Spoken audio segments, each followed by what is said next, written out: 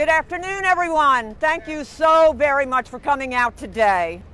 The Pride ERG, the Office of Inclusion and Diversity, Health Equity, we all thank you very much for being here.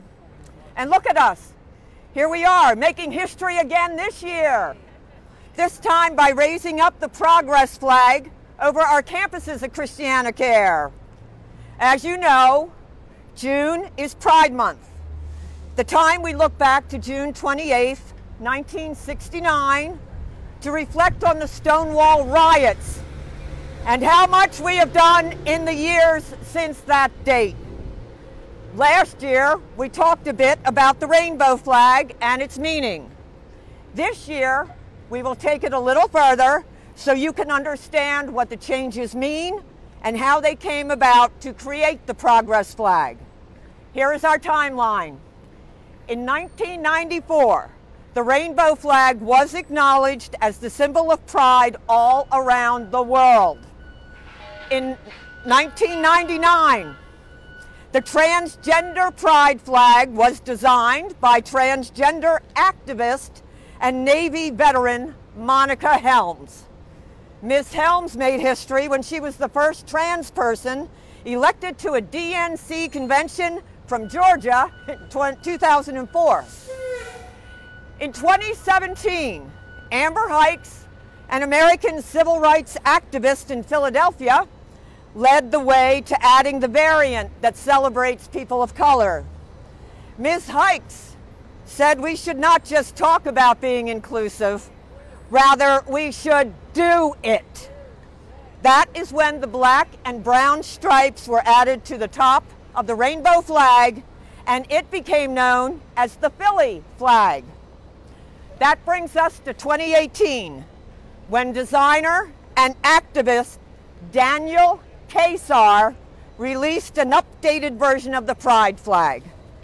He combined the variants of the Philly flag and the transgender flag to bring focus on more inclusion and progress. While retaining the six stripe rainbow design as a base, the progress variation adds a chevron along the ho hoist, a variant that is meant to look like an arrow pointing right and moving forward that features black, brown, light blue, pink, and white stripes to bring those communities, the marginalized people of color, trans individuals, those living with HIV and AIDS, those no longer living, and those surrounded by stigma into the focus and to the forefront.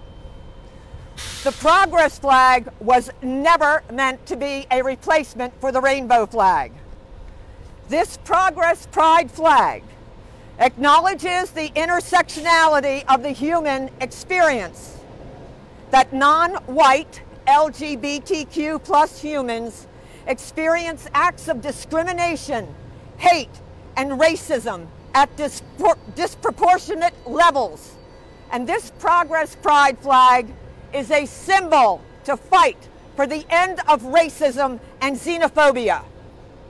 Realizing the real trauma and pain while also acknowledging the radiance and individuality of each one of our community's members is critical to gaining a deeper understanding of the importance of intersectionality. Yeah, we are making great progress. We've got so much more to do. Not only on trans and people of color representation, but for bisexual, pansexual, and asexual people.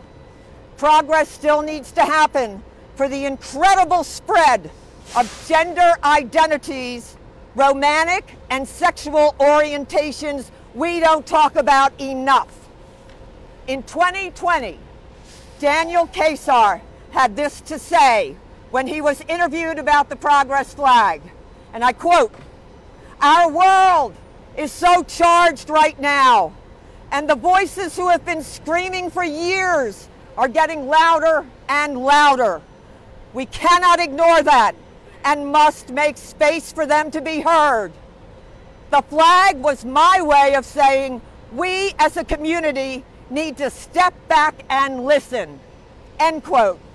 Let us amplify those voices right now. Hoist our colors, please.